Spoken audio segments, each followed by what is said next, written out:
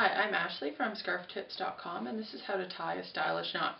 You're going to take your scarf and wrap it around, then you'll bring side A through and over side B and just let it fall.